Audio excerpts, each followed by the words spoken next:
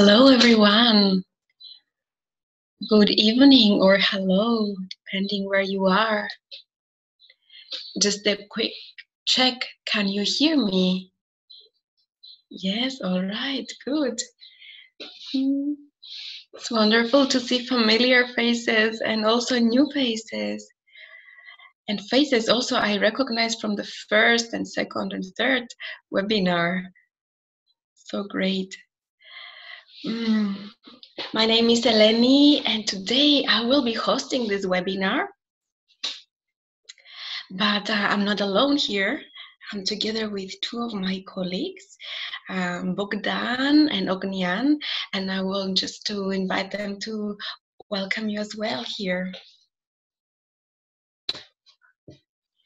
Hello and greetings from my side. Greetings from Romania. I'm Bogdan Romanica.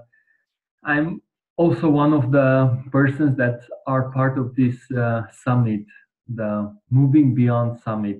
And I'm really happy to be in our fourth and last webinar of the summit. I hope you will have a great time and great evening.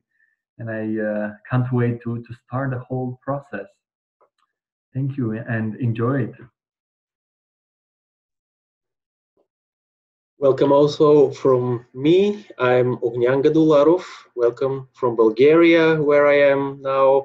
And uh, I wish you meaningful and fruitful time with us tonight. And uh, I hope that these uh, four webinars will uh, leave a trace and uh, will give some ideas uh, for your future. Thank you very much for being with us today. Yeah. Mm-hmm. Yes, and let me just uh, share how um, already excited I am because you all maybe already some not maybe but some of you already wrote in the chat hello everyone. Welcome everyone. And that made me really smile inside because uh, um, yeah today's webinar is about the wisdom of the heart. So i can already see how you engage with this wisdom of the heart but still, we are in this uh, summit, which is called Moving Beyond, Becoming Fully Human in Times of Transformation. And we hope that today's webinar will add on the beautiful things that have been said on the previous three webinars so that we can uh, move uh, beyond uh, the small story we live and transform, become fully human.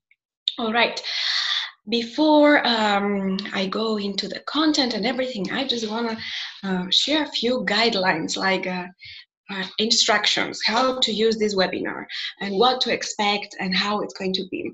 First of all, this webinar is being recorded. So you have this in mind that it is recorded. Um, second of all, um, we are in, the, in an online world and it's possible that um, at some moment uh, internet will give us some troubles. That's okay. Whatever happens we're just going to flow with it uh, whether it comes from your side or from our side. Let's just trust that everything will be well and yeah go with the flow. I also want to tell you that I'm not a native English speaker. So uh, you might hear errors or mistakes and I hope that the theory that says that 93% of the uh, communication is a non-verbal communication, I hope this works now and that you understand and you get the message, although maybe some mistakes will happen. I see some of you smiling, which makes me even more happy. Fantastic. Uh, and here comes the first error, more happy instead of happier. See? Uh, um, yeah, I will um, I will be checking on you. I will be asking you to, to just see if you're following, if you're with us.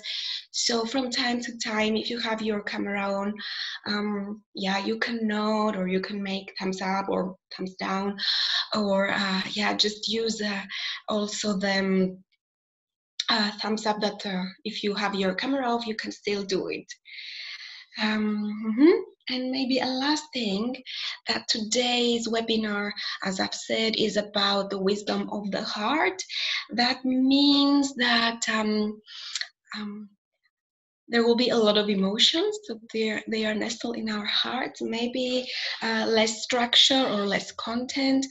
Um, and uh, at this moment i want to share with you what my intentions are for this webinar. What do what do i intend to do and i have two intentions. The first one is um, that um, my intention is to offer to you um, insights or inspiration or invitations or happily hopefully all three of them uh, that can help you um, step into the bigger story we are living and the second uh, intention is for us to have a good time as well to to um, say that this time is well spent um, that we are enjoying the time we spend together mm-hmm. Um, so that's the intention, that's the guidelines, and a uh, few things about me. So my name is Eleni Michail. I come from Cyprus. I live in Cyprus and I love Cyprus. And who am I really? I want to take you back in time. I want to take you back in time when I was a, a, child. And my dream when I was a child was to become a magician um, because I wanted to bring uh, rabbits out of the hats and pigeons out of the hats.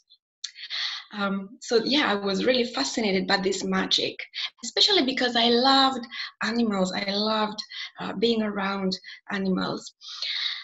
But soon after, you know, some uh, trials, I realized that I cannot bring rabbits out of uh, hats. Uh, so I was a little bit disappointed then came another this is the by the way maybe you hear this is the ice ice cream man going through in the neighborhood yeah. Um, we take it as it is yeah? So yeah uh, another disappointment that i had is that actually magicians don't don't do magic you know? They they have tricks. They the things are there the animals are there. So they're not really um, making creating the magic. However after working with people a lot of time, I realized that magic is hidden in a different place. That actually each one of us holds a magic stick, and we, with this magic stick we hold, we can make magic and transform ourselves. And then I fell in love with this magic. This particular magic in wait to witness people being transformed, to witness be people uh, being in contact with their self, their true self, their deep self, uh, with their inner wisdom, with their inner voice, and see this change and transformation happen. And uh, I, I, yeah, I dedicating my life uh, personally and professionally to this kind of magic.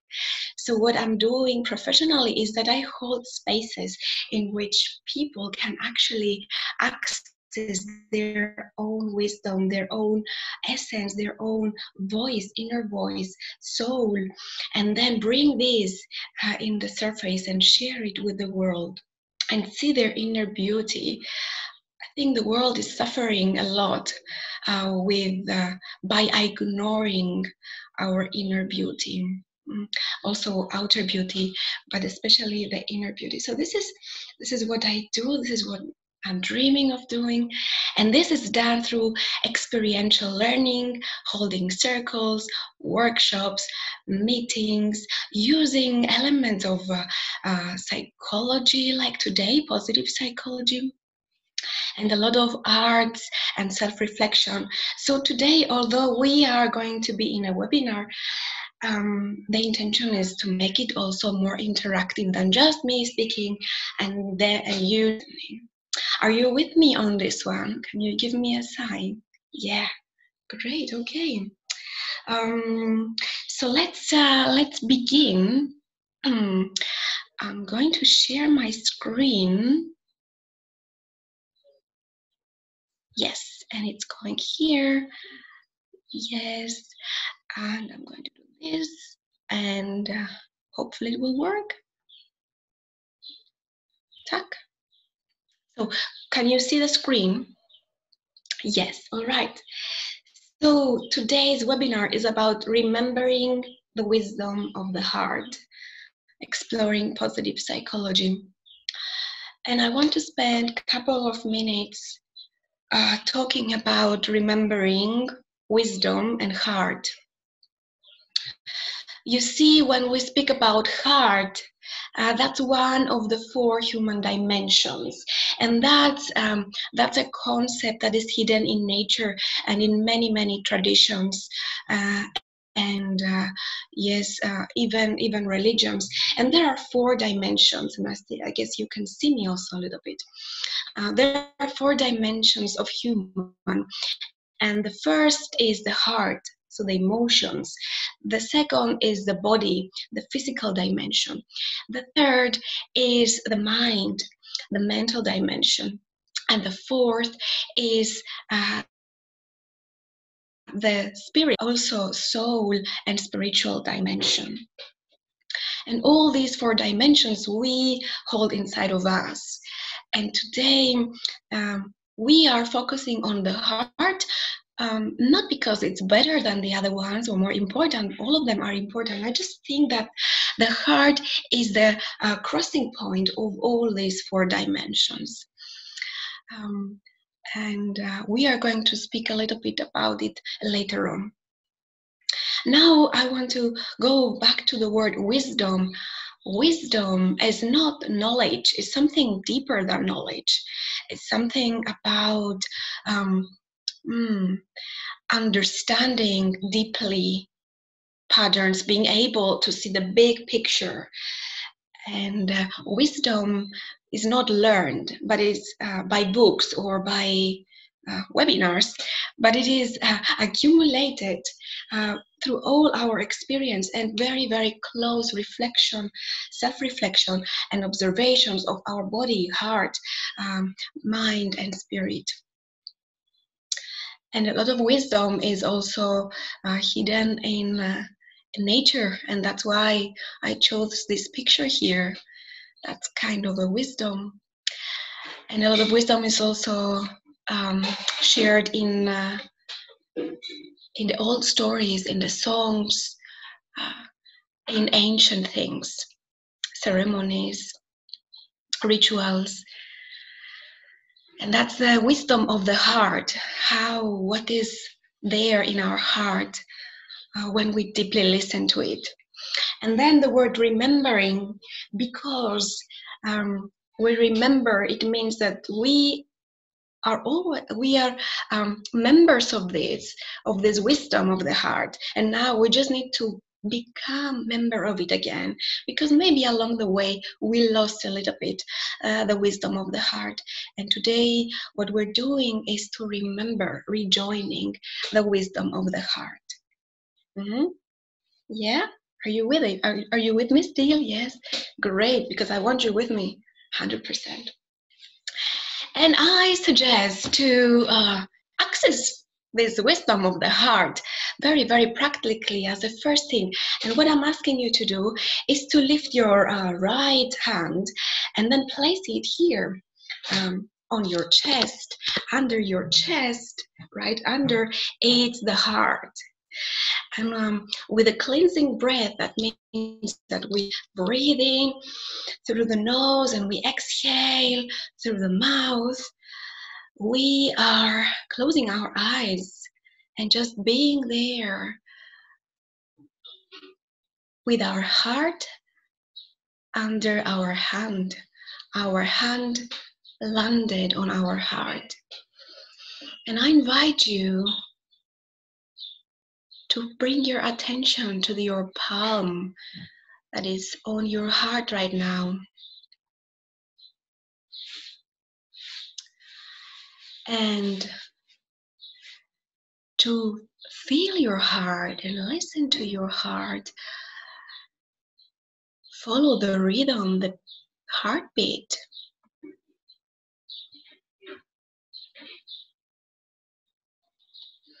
And if you cannot hear it or you cannot feel it, just imagine it.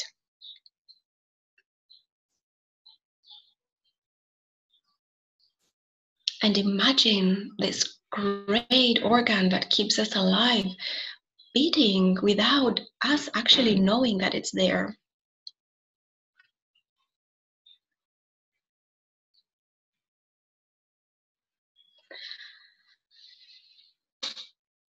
Giving life to all our cells, all our bones, all our existence, giving us opportunities with every heartbeat, opportunities to grow, to become more authentic, to become more kind, more loving, more gorgeous, more soulful.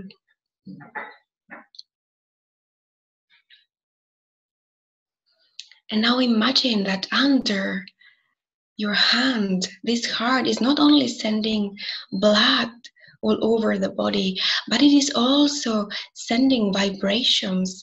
They are called electromagnetic waves in science. And these are love vibrations. So imagine that along with the blood that is flowing all over our bodies, love is being carried.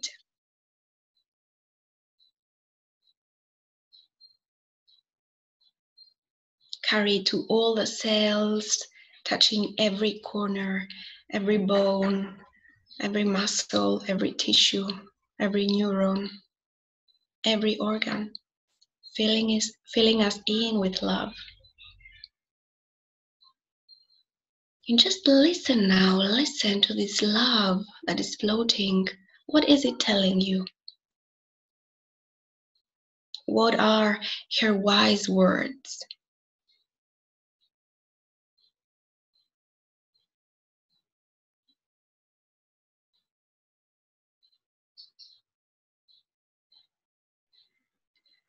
And once you have heard the words, you may allow your hand to rest back again on your knee.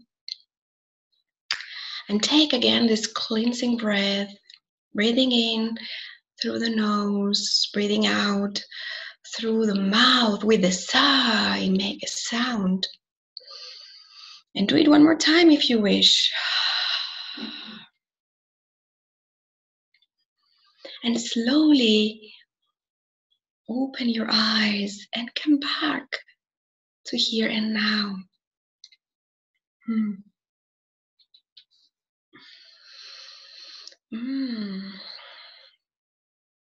Thank you. Thank you for embarking with me on this journey. Thank you for choosing to access the wisdom of the heart. And let's move on let's move on and see what we've got here today. Mm. All right, so the world we live in. And I wrote down a few questions about the world we live in. What are the news feeding us every day?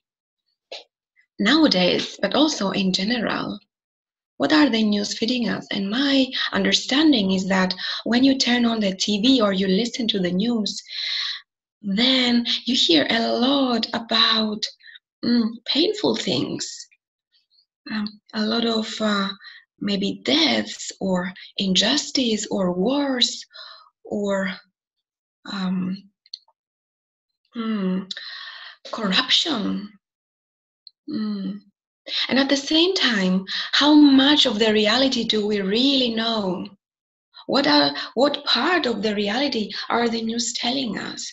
Because my guessing is that we just know a little bit, only a piece of the truth. And a lot of things are hidden from us.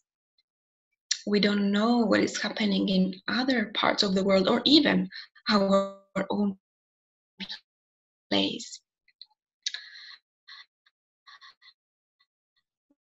Mm. We have um, forced slower rhythm, but how is the rhythm? What is the rhythm of, our life?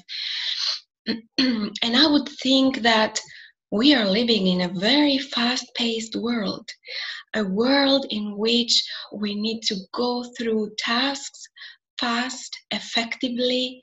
We need to deliver and deliver more.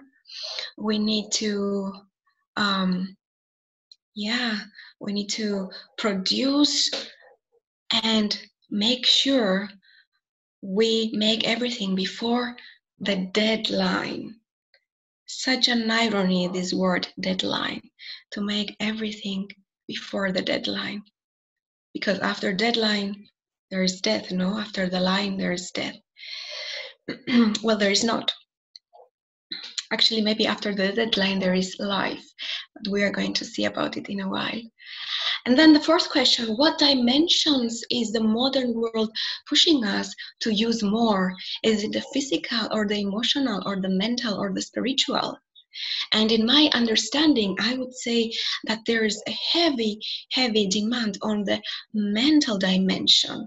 Such a heavy demand that maybe the other dimensions are pushed uh, aside. And just to give you this, um, um, do we really understand how many images are imprinted in our mind just by scrolling on social on social uh, media and how many information our brain our mind has to process in order uh, yeah to find peace among everything so yeah that's a little bit of the world we live in and moving on with this i would say that there is a humanitarian crisis and you see that I have here two columns. And the first one, um, on one hand, I see people striving for basic needs. A part of the population is striving for the basic needs. Uh, people living in poverty, uh, people dying out of hunger, people um, pushed and forced to leave their homes and their places because there their basic needs are not covered because it's not safe because they don't have a home or because yeah um, catastrophes have happened and wars and human trafficking that's something we don't speak so much but it is there and it's unbelievable how much money that's the modern slavery how much money uh, human trafficking business is making. Um, I read once that it's more uh, profitable than yeah selling guns or drugs. Human trafficking. Mm. And at the same time, in some on some other hand or some other places, we have people striving for wellness because their basic needs are that are covered. But then we have consumerism. And we have obesity. And what a what an irony that people who are obese are more than the people who are starving. Um, and we have hatred and injustice and a lot of inner wars um, a lot of stress a lot of depression a lot of loneliness. Mm so there are two they are two yeah extremes and a little bit of irony to have them uh, side by side and um, then I have a question how the ecological and the humanitarian crises are connected. Because um, in the previous webinars, we spoke about ecological or environmental crises and how the climate is changing and how the species are being lost. And and how um, the resources are um, undermined. And I see a great connection between both of them. On one hand, we have uh, environmental changes, climate changing, and people being forced to mm, immigrate because uh, because their mm, home because it is, is flooded and they have no more yeah the, the, the land is destroyed and they need to move um, at the same time, these uh, immigrants are not necessarily accepted. There is hatred and injustice. But at the same time, you know, how, uh, consumerism is, um, is pushing some people to stay in poverty because we are consuming and they are the ones who are going to produce it. Mm at the same time some kind of isolation from the place we belong which is the nature is giving us a lot of stress a lot of uh, despair a lot of disconnection with our natural habitat. Hmm. So this is how I see ecological and humanitarian crisis being connected. Are you with me? Do you find, do you see this connection? Mm -hmm. Yeah, all right. Hmm. And here, I will pause a little bit and I will um, stop sharing because I want to tell you uh, a story. Are you, now you can see me, right? Yeah, yes, yes, yes, all right. Because I want to tell you a story. this is a story of a Greek mythology. Um, maybe you know about uh, goddess Demeter. She is the goddess of earth and of uh, um, yeah home our home earth um, earth and agriculture. And it is said that goddess demeter had uh, a, holy grove that's a, a, forest an enchanted forest with trees. And in the middle of this forest was one sacred tree which um, was her tree her tree. And uh, around it uh, priestesses were gathering to protect it and to honor it and make rituals for this goddess of, uh, of agriculture and of the earth. It is also said that one man called, and as I said, maybe I'm not pronouncing it very well, his name was Eris, Erysichthon, Erysichthon. Mm. So this man uh, was uh, greedy and he wanted to cut all the trees of this sacred forest of the goddess and build there his palace. So he started cutting and cutting all the trees and he, until he went in the middle, the holy, the sacred tree.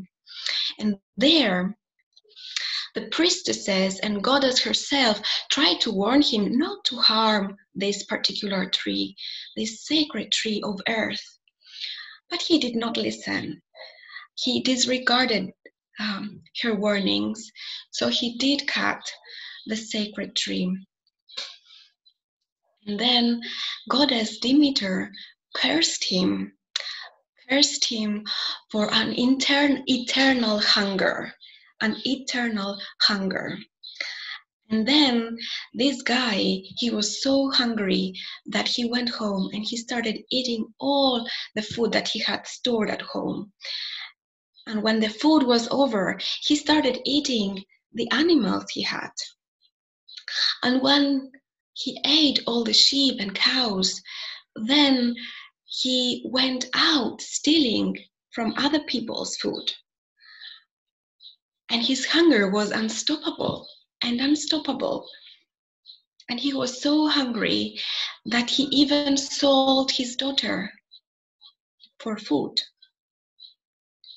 And he was so hungry still that he ate himself and died. He even ate himself and died. And why am I telling you this uh, myth now why am i telling you the story of the greek mythology? Because i i see that somehow we and when i say we i'm not talking about uh, us necessarily the 50 people who are here um, and the others who are listening but we a part of this earth population has become greedy and we are unstoppably hungry and we're just eating one after the other. Because we think that this is the way uh, to get happiness. This is the way to access the heart. This is the way to be fulfilled. And by doing this mindlessly we end up eating sacred things like the holy tree or like our families because we prioritize other things instead of our families or our connections. And we end up eating Earth herself. One way or another, we can see how big factories of the things we buy are harming the earth. Mm. uh, making the water uh, poisonous, but mm, or the air. Sooner or later, this air will get to us. We want to push it away to other continents, but yeah, making people suffer there, push them in poverty, but still we live in the same place. And this is how maybe, maybe we're eating up ourselves. And I'm not saying this to worry you, but maybe to offer this story in a way that you can take whatever is good for you, whatever is calling you right now. And also to offer hope through these webinars in order to become fully human. Mm. Hmm. Move on? Yes? All right. Let's go back to this presentation.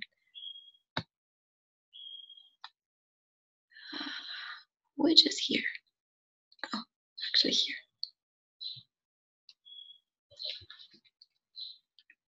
All right. Mm-hmm. Hmm, it's not moving. Why it's not moving?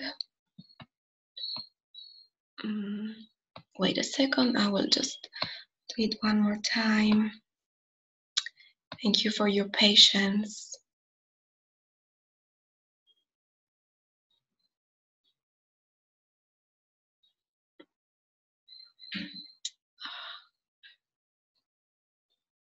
And thank you for your patience. All right. Yes. Okay. So we are all born to be happy. We're all born to be happy. This is our natural state of how we are meant to be. Mm. The trouble is that there are some misconceptions about happiness, and we already spoke about some of them. And uh, another one is happiness equals with joy or being uplifted eternally the whole time, feeling woohoo the whole time. But happiness is not the same as joy. Uh, joy is a short feeling, uh, very um, raw, it comes and goes very quickly. But happiness is being grounded. Happiness is what is the summary of all that we live in. If we're looking only for joy, then we might end up not being very happy. Another misconception is that happiness comes after working hard or earning a lot of money. So I will be happy if I work harder, then I will be happy. Or if I get more money, if I get richer, then I can be happy. But that's another misconception because what we do is we push our happiness later on, later on, because actually there is no um, deadline for money or how much work we need to do. And we get excited. We finish one thing, we want to do another thing. So, yeah, happiness does not come after working hard or earning a lot of money. Another misconception is that happiness is about showing that we are better than the others. If my neighbor has a, a car, I want to buy a better car, a faster car uh, if um, if the others are wearing this clothes, I want to wear this clothes, which is better, more fashionable, more um, hmm, uh, glamorous. In that way, I can be better than the others, or more degrees than the others. Mm. But still, happiness is not laying there. Sometimes we think that happiness is when we achieve a certain thing. So let's say, ah, I will finish university, then I will be happy. I will get married, then I will be happy. I will have children, then I will be happy. Or my children will get married, then I will be happy. And this is obviously an endless way of pushing again happiness later on and later on um, and uh, out of ourselves. Another misconception is that happiness is a feeling, and I'm putting it also here to create some confusion inside of us. Um, because happiness is is a, is a summary of all our existence all our feelings all our experience. And what is left in the end of the day? What is left in the end of the day? What is left in the end of our life? Mm. and maybe one more misconception is that happiness is anywhere else except in us happiness is everywhere else but not in us it's in the food we're going to eat or in the degree we're going to do or in the other people, but it's not inside. But actually, happiness is inside. It's very much inside. Let me see what I have after this. Ah, I have a little exercise for you. Yeah, a little exercise to see how happiness is actually inside. And I want to invite you here to make a pause and uh, write. Think of the last 24 hours. Think of the last 24 hours um, and go through these 24 hours and write down in your journal what are the three things you are grateful for. What are the things, three, three things you are grateful for? And just take this one minute and write these three things you're grateful for.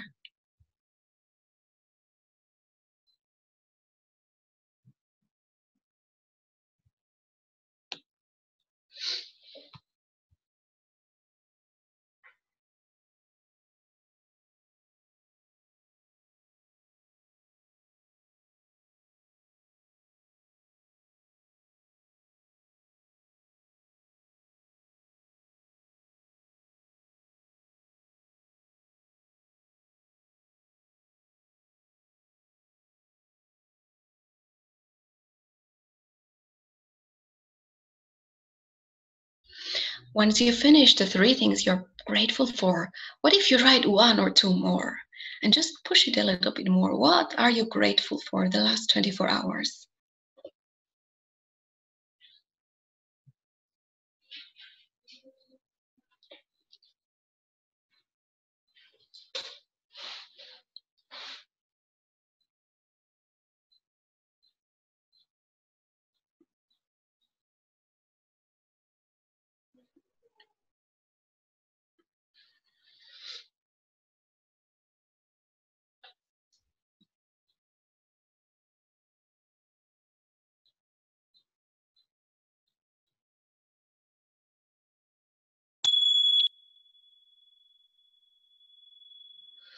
Hmm, that's the bell ringing uh, to yeah invite us to come back here.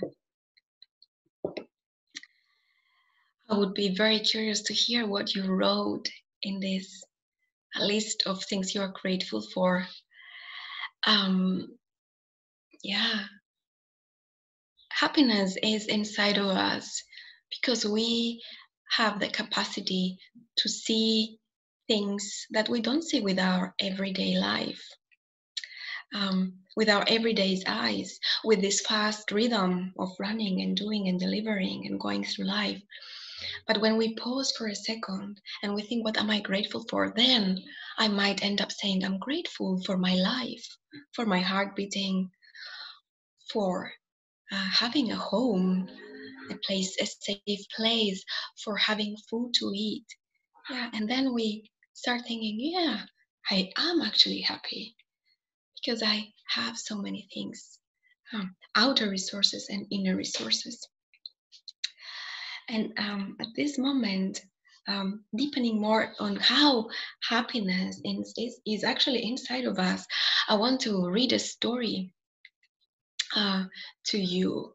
I want to read a story to you. Are you listening to me? Is it okay? Yeah, okay, good. Um, so I'll just stop sharing to see your faces one more time. And I want to tell you, I want to read a story, another story um, about uh, how the creator of the world um, wanted to hide something from human. And here comes the story. Once upon a time, there was a creator. And he said, I want to hide something from humans until they are ready for it, until they are ready for it. It is the realization that they can create their own life. But I want to hide it until they are ready. Where should I hide it? The eagle said, Well, give it to me. I will take it to the moon and hide it there. And Creator said, mm, No, one day, human will go on the moon and they will find it there. And then the salmon said, Give it to me. I will bury it in the bottom of the ocean. But the Creator said, mm, No, because one day human will also dive into the ocean and find it there. And Buffalo said, Well, give it to me. I will bury it in the great plains under the earth. And the Creator said, Oh, one day they will cut the skin of the earth and they're even going to find it there. And then the grandmother, the grandmother who has no sight, has ah, vision from her heart, um, she sees with her spiritual eyes, said, Well, what if you hide it inside themselves? And the Creator hide it inside themselves, inside the human. And everything we look for, or most of the things we look for, apart from the basic needs, are inside of us. But we neglect to see them. And how ironic it is that they are so close, but we look anywhere else to find it. Mm. Mm. So let's see, let's see how how can we hmm, unearth from our bodies and our hearts this wisdom, this happiness, authentic happiness, realization of our lives, become who we are meant to be. Okay, going back to this one, ta I guess you can see I hope you can see. Okay, all right. And that brings us to positive psychology. What is positive psychology? It is the study of the conditions and processes that contribute to the flourishing of optimal functioning of people, groups, and institutions. In other words, positive psychology is aiming to see what makes us truly happy and what makes us flourish, not just be well, um, not just be neutral, um, take away the diseases, take away um, the pain painful parts um, take away the depression or take away uh, the anxiety, but really what makes us flourish and thrive and fulfilled. And positive psychology is a, is a new field of psychology that uh, uh, derived 20 years ago, especially after um, yeah World War II, because um, after that uh, since that definitely uh, the psychology was focusing more on fixing the problems and now we're not just want to fix the problem or solve the problem but how can we make people thrive so that's the shift hmm. and uh, the father of uh, positive psychology he, he's called Martin Seligman. Uh, in the beginning of his uh, uh, career in positive psychology, he introduced this model, three types of happiness. And you see that there's a little bit of chart. We have happiness on one axis and time on the other axis, and then we have three types. And there are types. It doesn't mean it's not levels, but there are different tastes. So in the first one, we have pleasure. First type is pleasure. And that's ourselves being the rock star and chasing the next high what does it actually mean? It means that when we are um, when we are looking for happiness uh, as a pleasure, we're looking for something that is going to please us, which is going to make us feel um, uplifted, as I said before. You know this misconception, and this is uh, uh, maybe in this uh, type of happiness, we have things like. Um, mm, eating chocolate, eating ice cream, since we heard the ice cream man a little bit earlier. So yeah, I want an ice cream. It gives me pleasure. I want a chocolate. It gives me pleasure. I want mm, alcohol. It does give me pleasure. I want drugs, or I want a faster car, or um, a fancier um, makeup, or whatever, whatever, whatever falls into this pleasure category. You see that the time we enjoy it is short and the level of happiness is also little. That's because yeah, after we eat one chocolate, the effect is already gone. We're looking for another chocolate to sustain uh, the pleasure.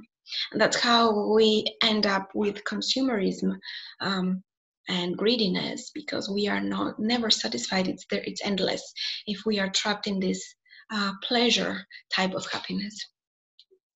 Moving on, we have uh, the passion uh, passion is about flow and engagement. That's the second type of happiness.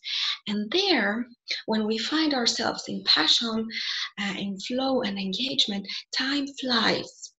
Mm? So these are the activities we do, and time stops. You know, it flies. It's like very quickly it goes, uh, it passes by.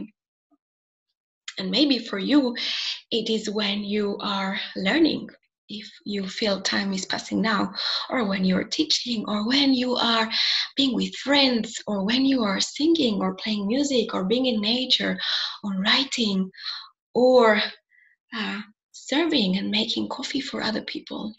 Mm. Uh, passion. Longer time, uh, more amount of happiness. And third type of happiness is higher purpose and meaning. And it's about being part of something bigger than ourselves. It is about, um, I would say that it's about using these passions that we spoke about before for something beyond ourselves. Maybe if I am a good listener and I'm passionate uh, in listening and speaking, maybe my higher purpose is to listen to the ones who are not heard by someone else or ask the questions that are going uh, to deepen their life mm. or maybe i want to offer something uh, to the animals or the nature or the poetry or the soul or the spirit so we offer something mm, beyond to someone beyond ourselves a being or spirit beyond ourselves. That's a higher meaning. And you see how this um, this type of happiness is longing is, is, is taking more time is uh, lasting for more time and also is giving us higher levels of happiness. At the same time what seligman discovered is that actually these um, um, the, the combination of the three is even better. So we do need to find our passions and uh, engage into them and be in flow. We yes we it's great to offer them to something beyond ourselves and find meaning but at the same time it is necessary to take care of ourselves to eat a nice meal uh, to yeah have a beer from time to time uh, and yeah and enjoy the pleasures uh, but pleasures not being the ultimate happiness so the combinations of the three. And there is a little bit of a star under. Uh, you might see that this model is applicable for human whose basic needs are covered. So we're, we're not expecting um, anyone who is in war or in violence or in a, a un, unsafe place, who is hungry, who is mm, poor, to uh, go through this. So once basic needs are covered, then we can speak about happiness. Um, and I want to say basic needs, I mean basic needs. It doesn't mean that we eat sushi every day, but we have something to eat. We have somewhere to, uh, a shelter over our head, uh, basic safety, and so on. Moving on, um, there is there is then um, a more um, upgraded version of uh, what makes us happy, uh, and uh, here is the um, a new model which is called PERMA, and it's about positive emotions, engagement, relationships, positive relationships, of course, meaning accomplishment and achievement. And because uh, I believe that, yeah, I believe that knowledge and information are already on the websites, I will focus more on, yeah, um, maybe bringing a bit more inspiration. So here we go. Positive emotions. As we said, positive emotions are not so present maybe in our life or mm, if you listen to the news there uh, definitely you don't get a lot of positive emotions Um, these are the top 10 positive emotions we experience. And um, you can just go through them joy, gratitude, serenity, interest, hope, pride, amusement, inspiration, awe, and of course, love. It is said that love is the one we experience mostly, and uh, awe is the one that we experience less. This is what research is telling us. And uh, the research about positive emotions, uh, um, yeah, it is called uh, broaden and build theory uh, by Barbara Fredrickson. And what uh, this theory suggests is that positive emotions widen the array of thoughts, broaden and increase our resources, thoughts, and actions. And specifically, positive emotions can support the development of competences, networks, and capacities, which in result facilitate well being and fulfillment. What do we mean by this? By engaging in positive emotions, we actually broaden our resources, our inner and outer resources. Now imagine if you express gratitude to someone, yeah, or someone expresses gratitude to you. Expressing gratitude is is a way. This feeling of gratitude is is a is a way of um, strengthening our bonds with this person, and therefore we build relationships and that's an outer resource. Hmm. Uh, or let's say, for example, inspiration by being inspired, bringing inspiration, bringing inspiration into our lives. We are engaging this uh, force, we are uh, awakening this inner force to do more things, uh, to have this motivation to embark on new things that we always wanted to do. And that's just a few examples of how positive emotions broaden and build our capacities so that when we are uh, in a difficult uh, situation, we can actually stand on our feet and have resiliency.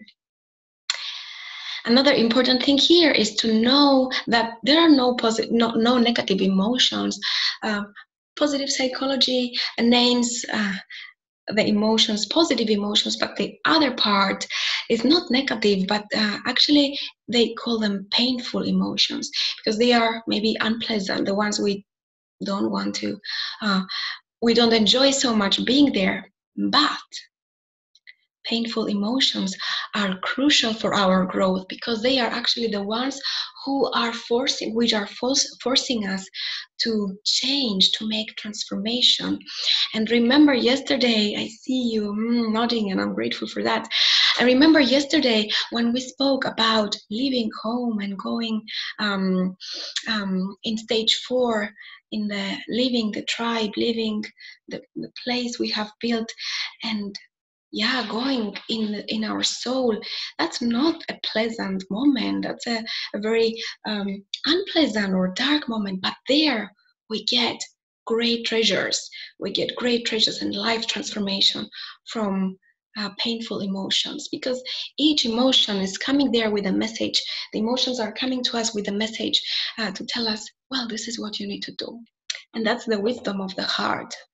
The wisdom of the heart that each emotion is here to tell us something.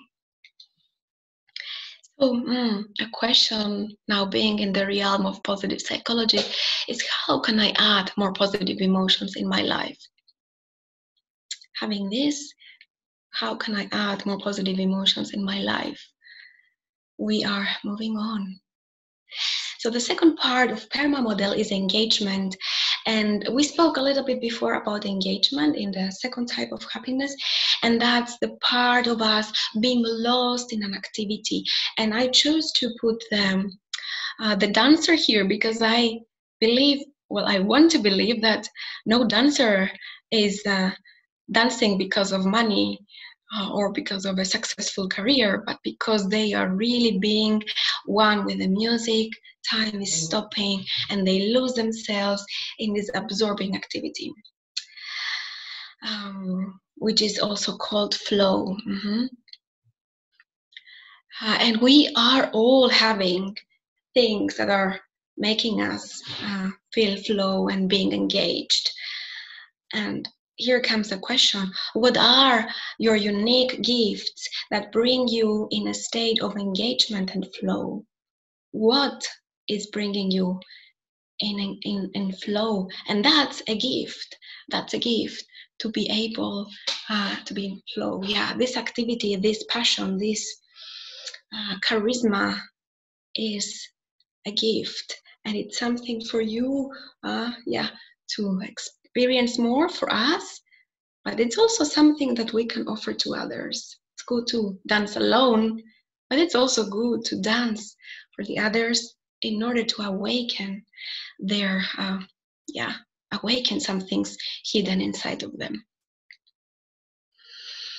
So that's the second one engagement and moving on relationships so we human are social being, beings. We are born to be in tribes. We are born to be uh, in communities, and um, sometimes it is good um, to spend a little bit of time alone. In English, there is a great um, um yeah word which uh, surprisingly I forget uh, solitude is the word. Sometimes we need to be solitude in solitude to make this inner reflection. Um, but that's one part of our life, a small, very small part, or a small part of the day.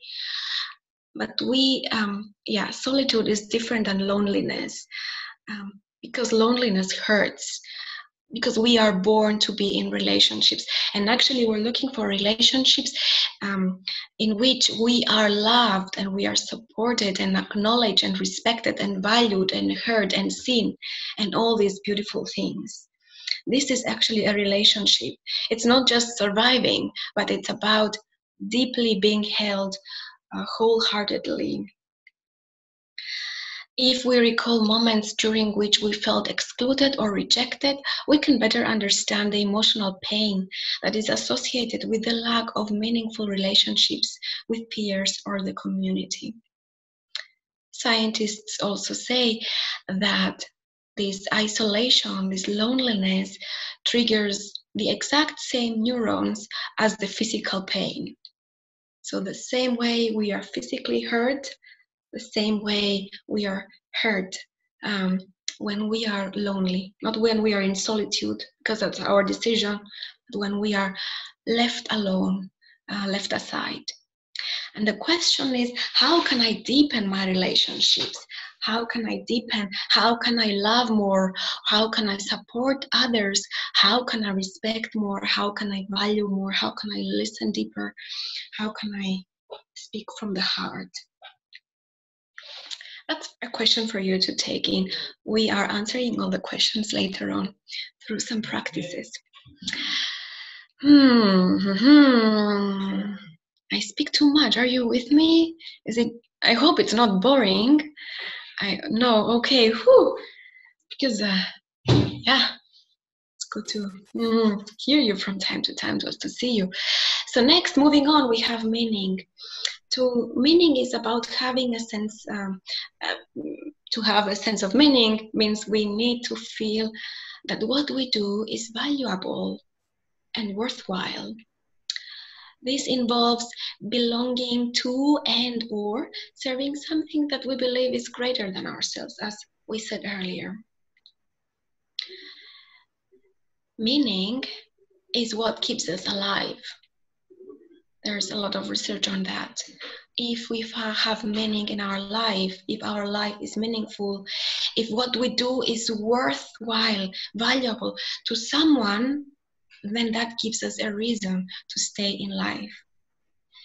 In other cases, people who are um, committing suicide or considering to commit suicide, that's because they miss meaning.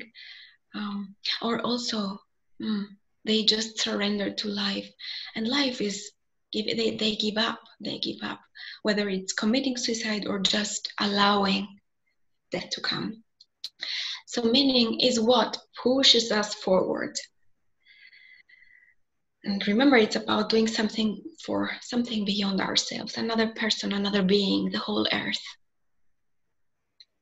what is giving you meaning? That's a question to think. What is actually giving me meaning? When? What activities or what um, parts of the day are meaningful to me? And moving on, accomplishment, that's the uh, last part of the PERMA model. This element offers a sense of fulfillment as we reach our goals and become better throughout time and achieve mastery. So, yeah, we have all the others, but from time to time, it's good to acknowledge what we have accomplished in life, that we are evolving, that we are becoming better, and that we do want to become even more better, even uh, more rich in the wisdom, not rich in the sense of money. So the question is, how do I become better? How do I become better? Or how have I become better uh, since last year, or two years, or 20 years ago?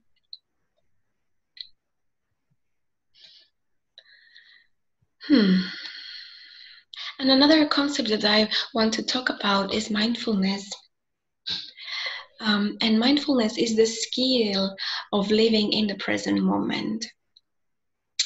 And it's, uh, again, is um, yeah, something that maybe is very neglected nowadays. Also, because we are far away from nature. We spend a lot of time thinking about the past or thinking about the future, being trapped in a small story, and forgetting to see the big picture of life or earth. Um, so here is how mindfulness can look like. Mm. And the question is do you want to be mindful or mindful?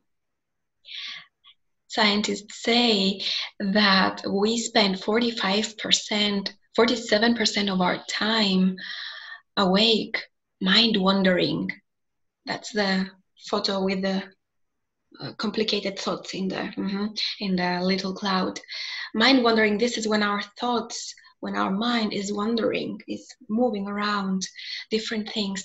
Our body is always in the present moment. You know, when we want to go to toilet, we want to go to toilet, or when we're hungry, we know we're hungry. Our body is always here, but our mind is wandering and almost, if you think that we are mind wandering almost 50% of the time, that means that half of our life we are not really living the here and now. We're not living really this life. Hmm. And what are we? Yeah, so going back to the uh, mindfulness, what are these three dimensions of mindfulness and how can we engage in them? So they are three and they are integral. So we want all three of them. The first one is about observing what happens inside of us. So, our body sensations, um, our senses, what we smell, what we see, what we hear, our feelings, what is in our heart right now, our thoughts to keep trace, keep track of our thoughts. And I would go also a bit beyond that, like observing what happens inside of us means also answering mm, some questions like who am I? What are my values? What are my competences? What are my gifts? Why am I here?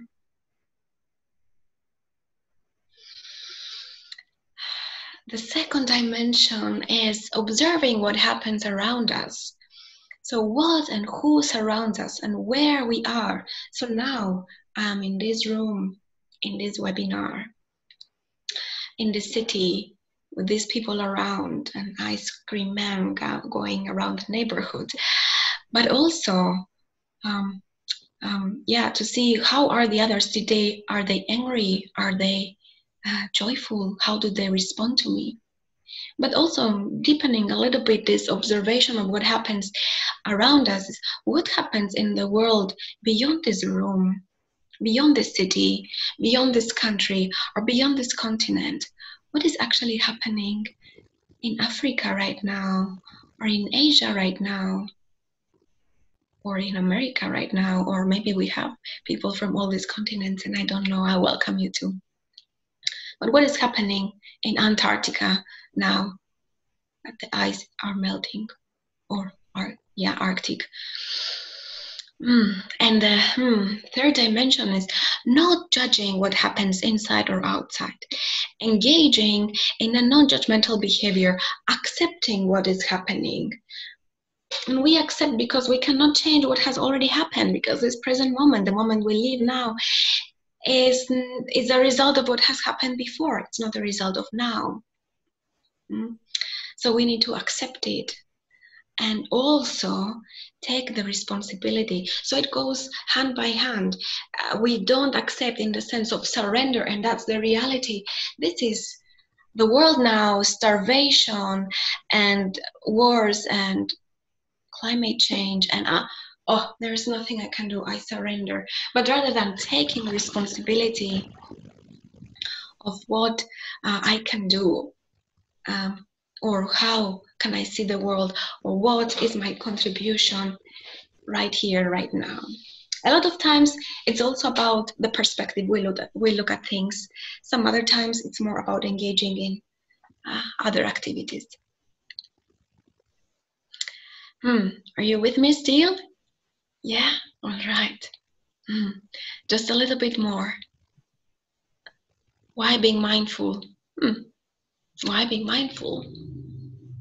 Well, the treasures that are hidden inside of us from the Creator are in the here and now. We cannot find them in the past and we cannot find them in the future. We cannot find them anywhere else apart of us. So being mindful is, is a way of being happy with our life. Is a way is a way of recognizing acknowledging ourselves. Is a way of taking responsibility. Mm. it's a way of mm, taking opportunities and really fully living. That's why mindfulness is important. Mm. and we need mindfulness push this great turning mm, that we spoke about on the first webinar. We are born to be happy. We are born to be mindful, sorry. So we can reclaim it. Children are always mindful, they're always in the present moment. So, this is a skill we are born with. We lose it over time, but we can engage again with it. And another, very shortly, I, another thing that I want to tackle is the character strengths. That's also another element of uh, positive psychology, character strengths and virtues. It is mostly, this concept is mostly developed um, for, um, for the educational system, how to bring um, positive education, but I find it very meaningful in in just having this character strength throughout life. And here they are, clustered in these categories.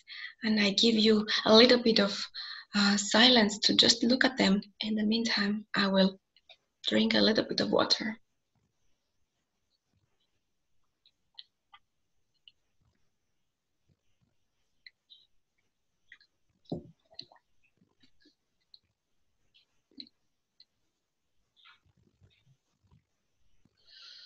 So, wisdom and knowledge, humanity, justice, temperance, transcendence, and courage. And uh, my uh, guessing is that when we work with these character strengths that we all possess, then we will not have these things, this humanitarian crisis we spoke about in the beginning. When we have kindness, when we have honesty, when we have humility, uh, when we have perspective, when we have fairness and teamwork and forgiveness and humor in life, I think there's a lot of healing coming up Hmm. And now I'm just moving to some practices of how can we actually put the character strengths and the perma and mindfulness in practice. And here's what here's what we can do more practically. So expressing gratitude to others, saying thank you, writing thank you letters to others, meditating, praying, or being in stillness, mm, or just breathing, it also works journaling on things we are grateful for, like we did today earlier, doing acts of kindness. Um, and I would add doing acts of kindness secretly. So to strangers, offer them something, a kind gesture that they don't know and they don't expect. Uh, writing a letter of self compassion to ourselves say, Wow, I understand. I feel your painful emotions. I know the situation you are in. Yeah, offering this self compassion to ourselves. Acknowledging the resources we are having also. You can do it. You have accomplished so much already. You have this and that inner resource. Spending time in nature as well as sp- spending time with humans in meaningful encounters. Enlarging our comfort zone, doing something new, something we always wanted but we haven't tried, starting with small steps and enlarging our comfort zone. Investing time in what in that thing that puts us in flow, whether it is singing or whether it is mm, cooking or whether it is planting or whether it is mm, reading. Just spend more time with that thing. Engaging in arts. And i know that we have a lot of inner critics about arts but we are born to sing we are born to dance we are born to draw we are born to act. We are born for all these things. And i would say as a last it's not a practice but every time we have a decision to choose the authentic happiness, what makes us truly, deeply hearty, uh, happy. Mm. And I say that remembering the wisdom of the heart will heal the human and the earth. And that's where this presentation is over, and I'm looking forward to see your faces and hear your questions. Mm.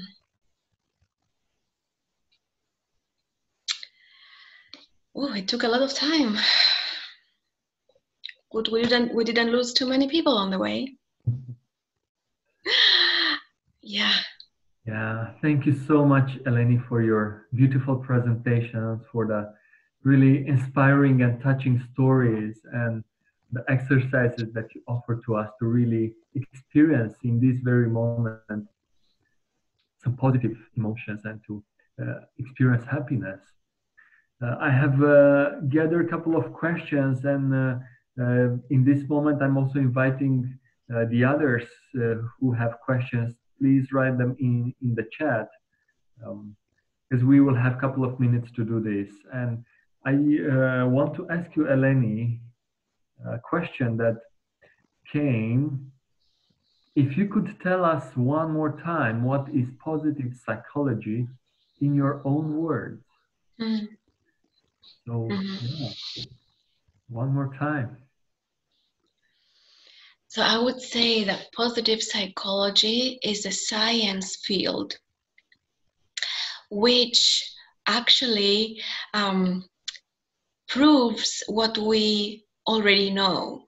We all the ancient traditions, all the ancient tribes, even our grandmothers and fathers and mothers and our children know that we need to be kind, we need to be happy, we need to be grateful.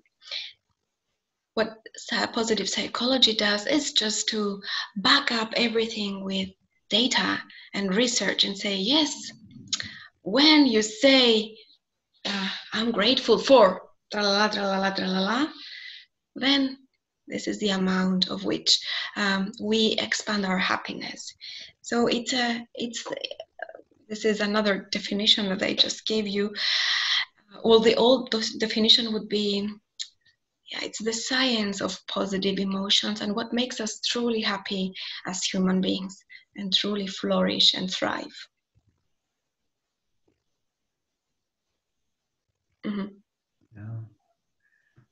Thank you so much, Eleni. I just want to uh, mention one more thing that it's uh, three of us who are, in a way, supporting uh, this process. So also Ognyan, if you feel like adding at one point something, including myself, um, yeah, it's, it's good reminder. So I don't know, Ogi, if you want to say something. Okay. Uh, then there is one more question that came from uh, from the chat, and then uh, I have a question for you, Eleni. Uh-huh. Came to my mind. So um, someone said that I love this model. I see a deep complexity in it. The first thing that came to my mind was: Is it somehow connected with uh, the permaculture conception concept? Uh, mm. The permaculture. Concept? That's a great question. I want to admit that I am not. Uh, um, I'm not uh, uh, very familiar. I mean, I know what it is, but I haven't delved into permaculture. But the way I know permaculture is to use the ecosystem uh, in order for what you want to do to thrive. And I would see that this applies also in this PERMA model that we're using the ecosystem, uh, we're using our resources that are other human and ourselves in order for us to thrive. Looking at it from this perspective, I would say that this is the similarity that I find. At the same time, I am I'm just underlining that I haven't delved into that yet. Hmm. Or maybe Ogi or Bogdan, maybe you know more about this?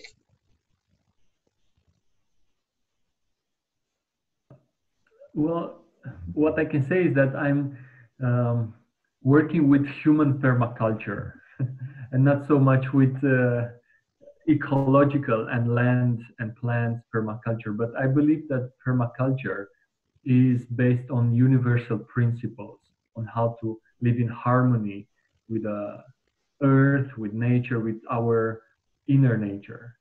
So I believe that in a way, uh, what we have um, presented in all these webinars is in a way, or are in a way, universal principles and values. Yeah.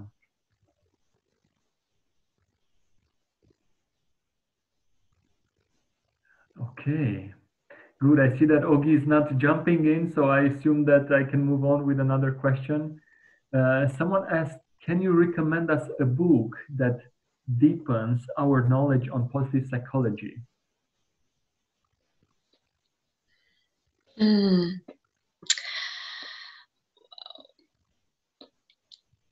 Yes and no. Uh, we are going to uh, give to you uh, a set of resources after this.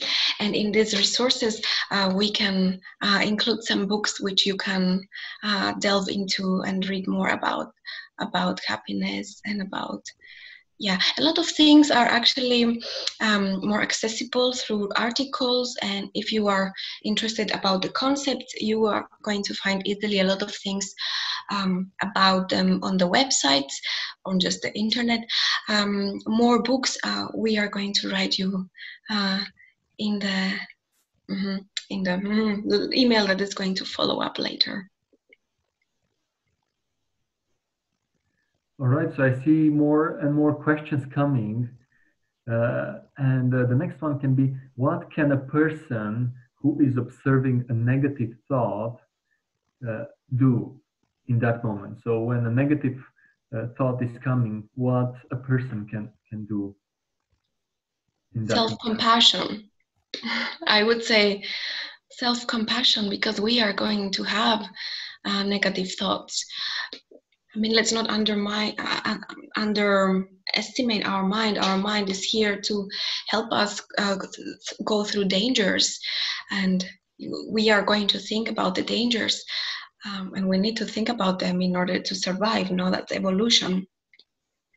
Uh, progress is uh, being there and seeing where do these uh, thoughts come from what are these thoughts telling me what where are they pushing me to go is it feeding my soul or is it staying in the small story i am yeah but being there the first step is to to treat ourselves as our best friends. If our best friend had a negative thought and was in big trouble, what would we do? The first thing is to listen and ask what is happening. And you can do it and have a dialogue with yourself or write this dialogue with yourself.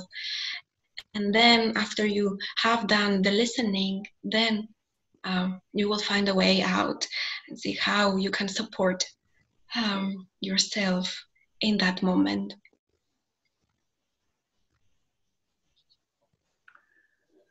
Okay, I will just take one more question. Um, what are your thoughts about happiness being a consequence from a mindful and meaningful life and not the main goal in life? Mm. Mm. Well, uh, there's a lot, a lot, a lot of things to be said about uh, happiness. Um, uh, one of which, which I didn't mention so far, but you're mentioning, and it's great, is that actually happiness should not be our primary goal and uh, anxiously looking for happiness. Uh, this is not how things uh, should be. This actually makes us less happy. This is what it is said. Um, and I, I, I might say why, and the answer is that, mm, well, we don't, it's not possible to measure happiness um, it's not possible to measure it. And um, then we don't know. We'll just keep looking and keep looking. When we shift our um, definition of mindfulness as a meaning uh, offering being in, the, in a state of flow and offering uh, then this measure would be i want to be more in a state of flow and more and offer more of my state of flow to the others uh, and, and, and, and just grasp into that meaning and never leave it. So when uh, we look at it from this perspective, then we are having happiness all along. And remember, happiness is not about being uplifted the whole time, but really embracing all the emotions that are coming and going through life um, and saying, well, today I'm grateful because this happened. Today I had a bad day and it's okay because I have hope for tomorrow. Today, I'm taking the responsibility of the next uh, day. So, yeah, again, mindfulness is not necessarily an emotion, but it's a state of being.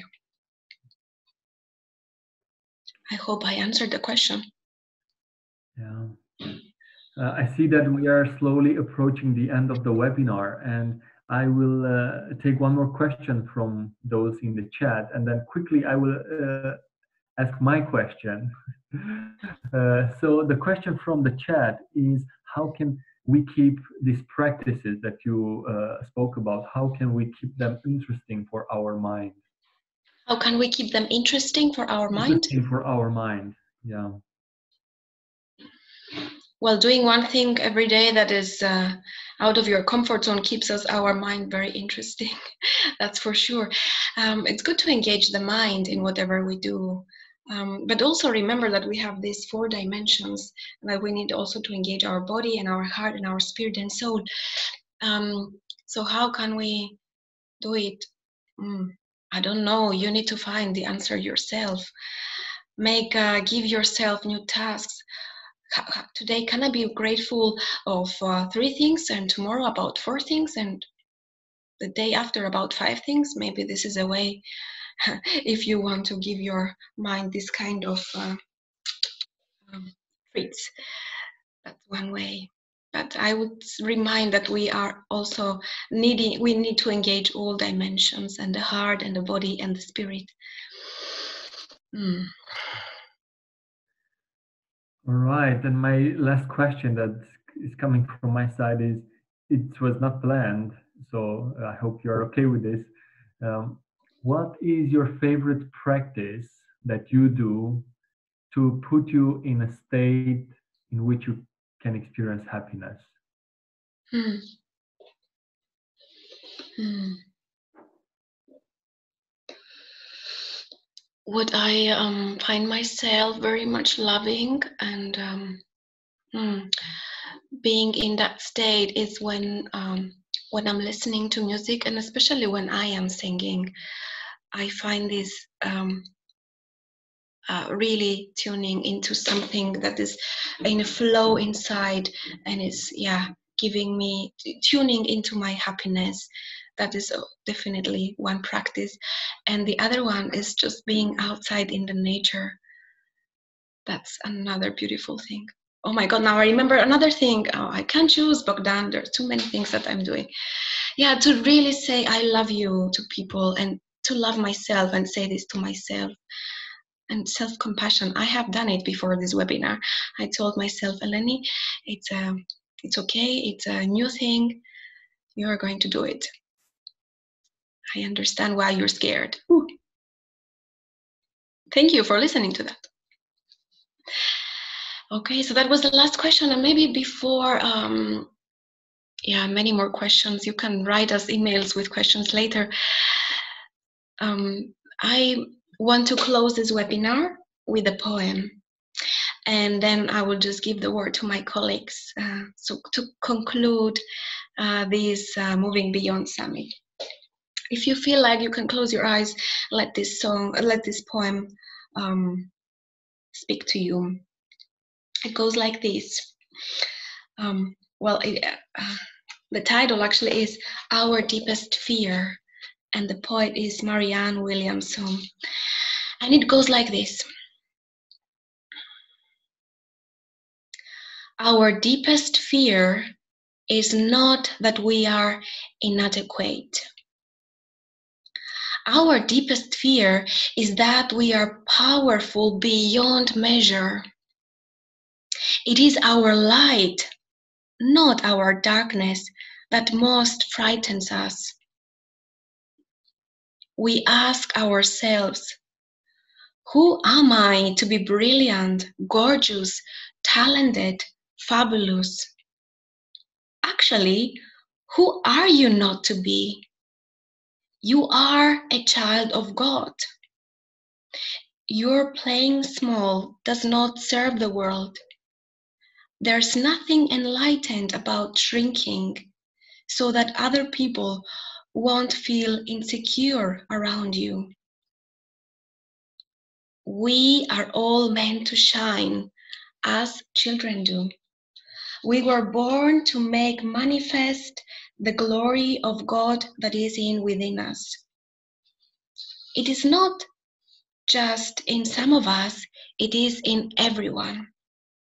And as we let our own light shine, we unconsciously give other people permission to do the same. As we are liberated from our own fear, our presence automatically liberates others.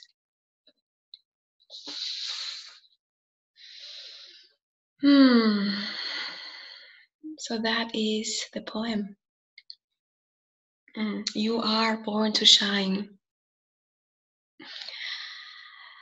And yeah, I just want to thank you so, so much for being here today, especially in this webinar, as well as for being uh, maybe also in the previous webinars. Mm, it was lovely to be with you and i just want to yeah invite my colleagues because now i'm a bit more emotional so you guys can step in and then i can just say a final thank you mm-hmm. Thank you very much. I would like to uh, start first and uh, to express my deep gratitude and uh, yeah, my my love and connection to everything that uh, that happened in this week, and I want to share how happy I am about uh, these uh, four webinars, these summits that uh, we we prepared and realized together. And uh, I want to I want to express how how grateful I am to to have such colleagues and such friends like you and uh, Bogdan, and to to to really to to wish all of you our our audience today and previous days to to be able to work and share in such environment of people who are like-minded with you and to share same values and uh, same purpose in life. And uh, i wish you all to shine and to live your biggest life in service to the earth and to the future generations. Thank you very much.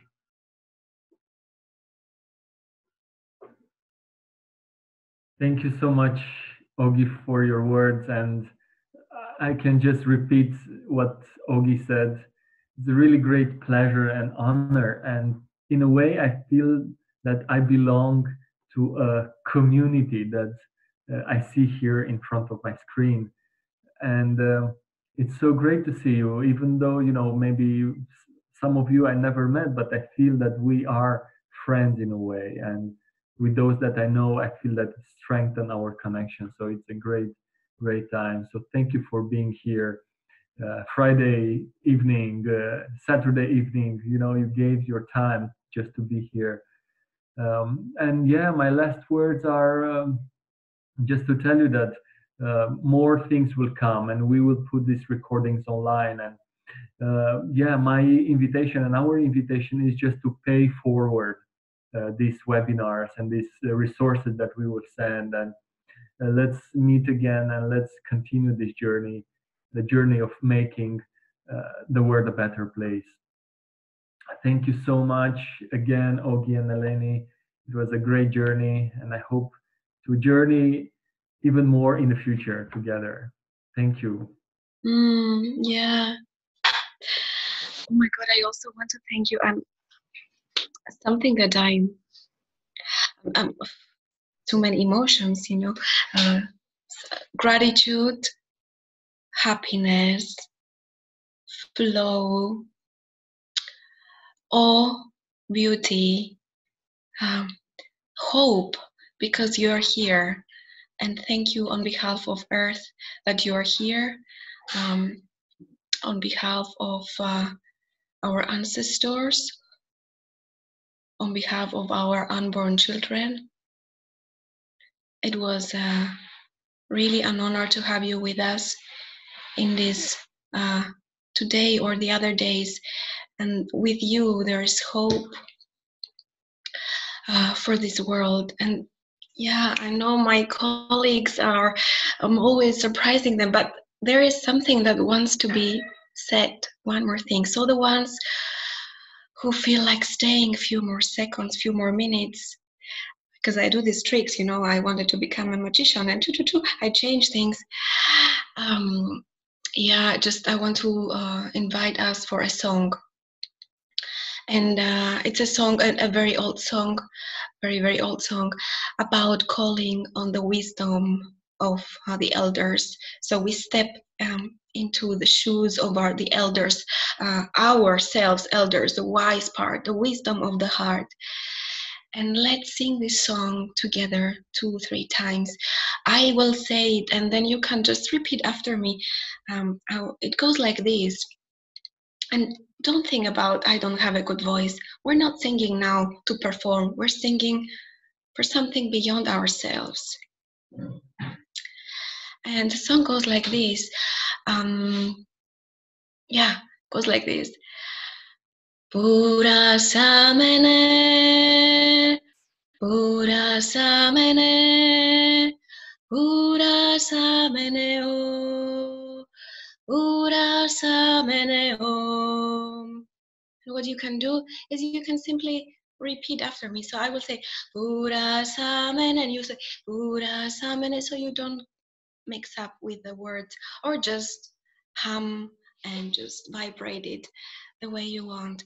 It's a praise to the ancestors and calling, uh, calling the elders to step into their shoes and become elders and take this responsibility and join the wisdom of the heart. Mm? If you want, you can close your eyes. If you want, you can keep it open. And it goes like this. Pura samene, pura samene, pura samene o,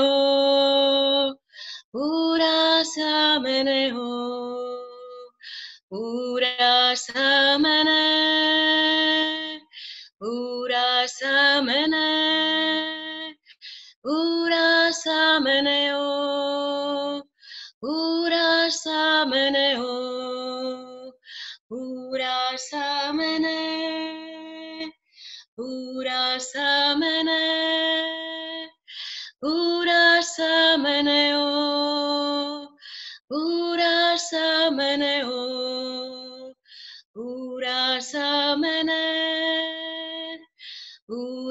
samene.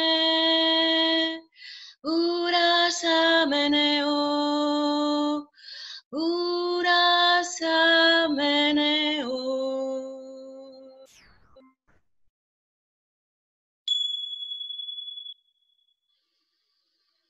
Mm. So thank you so much, everyone. Thank you.